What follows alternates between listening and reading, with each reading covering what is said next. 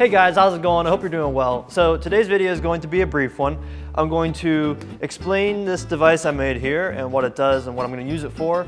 Uh, so yeah, should be pretty cool. So this is a hydrogen generator that is built to contain a lot of pressure for experimental purposes. So let me explain myself here. So I'm doing research for a future project. The best term for it would be a combustion light gas gun, uh, and it's gonna be hydrogen powered. So I've been doing a little bit of research on pressurizing hydrogen.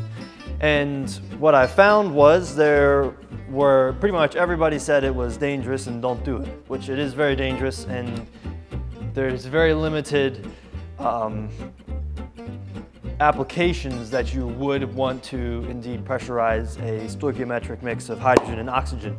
So, but in this case, I, it's really necessary to get that, that density, fuel density that I need. Uh, so I need to pressurize it to some degree. Now I saw some people in forums and a few websites say that beyond, like once you get to 30 PSI, the hydrogen and oxygen gas mix will auto-ignite which I find really hard to believe because I've been taught since grade school that you need three parts to make fire, right? And you would only have the fuel and the oxygen here um, to make fire, you don't have the heat.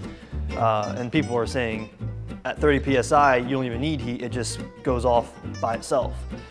Uh, some people say 40 PSI, some people say 100 PSI, it's all over the place. So I have a 400 PSI gauge on here. I'm going to set this up, I'm going to Apply electricity between the electrodes uh, through the water so it rips the molecules apart into hydrogen and oxygen gas and uh, the, the pressure will raise until it gets to 400 psi, in which case I will unplug it from a remote, like a safe location.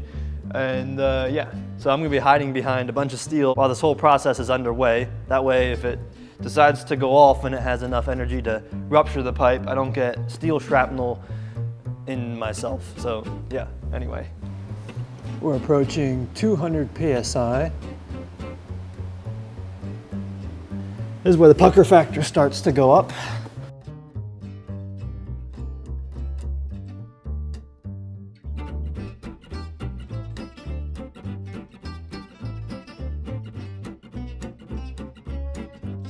All right, that's the 400 PSI mark. We'll go a little bit longer and then I'm gonna shut it off.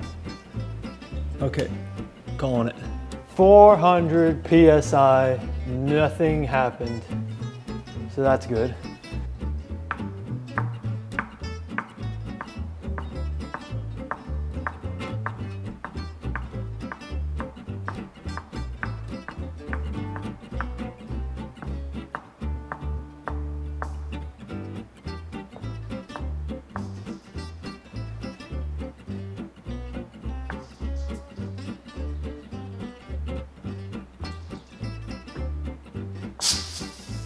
Okay, that was much more violent than I thought it was. Now I have caustic sodium hydroxide everywhere. All right, so that went according to plan. There were no leaks, there were no injuries, which is always a plus. Uh, I met and exceeded 400 PSI, so there were no like ex explosions, auto ignitions, nothing of that sort. Hydrogen is very easy to ignite. You need a very little amounts of energy to ignite it. So a static spark, anything like that could potentially set it off because it's it needs it doesn't need much to go.